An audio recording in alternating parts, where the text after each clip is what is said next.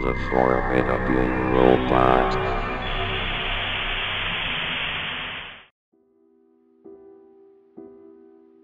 The automaton lay on its side, rain pouring over it, waiting for its master to come back for it. How long it had been waiting it could not remember. Had it been a few days or a few decades? The automaton could only tell the passage of time at this point in two ways whether it was day or night, and whether or not there was rain or snow. Right now there was rain, a lot of rain.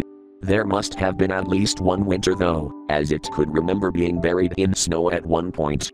The automaton was an obsolete model.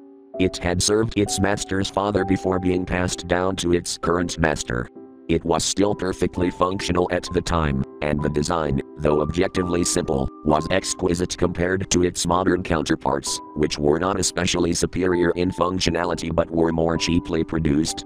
There was true craftsmanship in this particular robot, and while this mattered little anymore to those who bought such units, it caused its master to treat it as his favorite among his collection of mechanical servants. The automaton was not designed to feel. But it did. It felt the rain pelting its metal constitution, it felt its springs and bolts beginning to rust.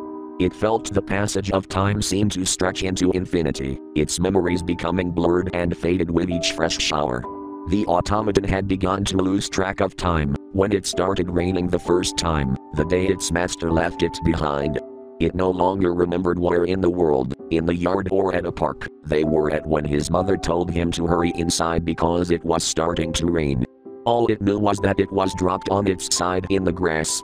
Since then, there was only the rain, and the snow, and the occasional bug or animal to keep it company. By now it was almost halfway buried in mud. A relic from a bygone age, it would eventually be a fossil. Left to rust. Sinking. Disintegrating.